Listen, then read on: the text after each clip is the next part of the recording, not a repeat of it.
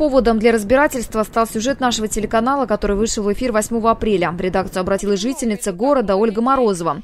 Она обеспокоена тем, что ее внук по дороге в школу пересекает небезопасный участок проезжей части.